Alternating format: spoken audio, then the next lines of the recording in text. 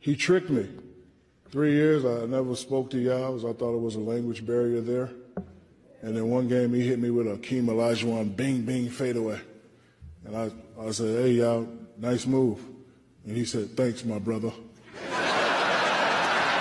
I said, whoa, whoa, whoa, whoa. You speak English? He's like, Shaq, you never talk to me. Of course I speak English. Damn.